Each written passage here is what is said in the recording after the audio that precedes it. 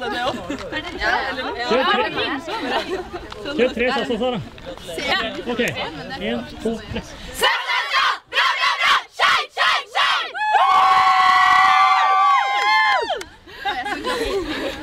En gang til. Kom igjen.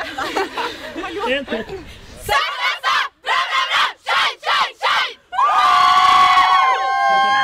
Bra, veldig bra.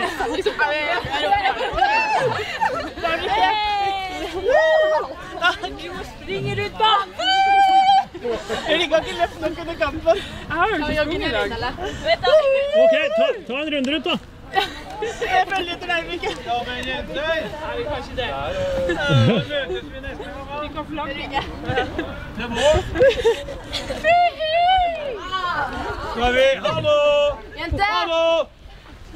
Skal vi forsøke å rote oss sammen en gang i uka framover, og vi kanskje det dukker opp noen flere som har lyst til å være med oss i andre divisjon? Ja. Så at vi, la oss si hver torsdag framover, så, så kjører vi en uh, hyggelig trening. Ja. OK? Kjempebra. Ha en riktig fornøyelig og god helg, jenter. Det fortjener dere. Absolutt. Men la være sjampisen, da, for den skal jeg ta. En kommentar fra treneren etter opprykket. Ja, det er jo deilig. På, ja, på vegne av jentene så er det jo kjempeålreit. Vi har jo snudd en uh, traurig vår til en kjempehøst.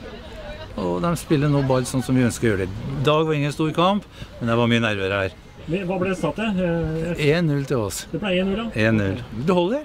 Det holder, ja. Vi har vunnet. Ja, mer enn nok. Ja, ja, ja. ja, Ja, ja. Det er litt rart. Vi går fra altså 8-1 til 1-0 på en uke. Og det, men sånn er fotball. Ja, det er et nøtteskall. Vi, så som jeg sier, I våre så var det motbakke, og i høst har vi klart å vente til at man får tillit og tro på det man gjør. Det er veldig viktig. Veldig Veldig viktig. Ja. Gratulerer med opprykket. Tusen takk skal du ha. Tusen hjertelig takk. Hyggelig.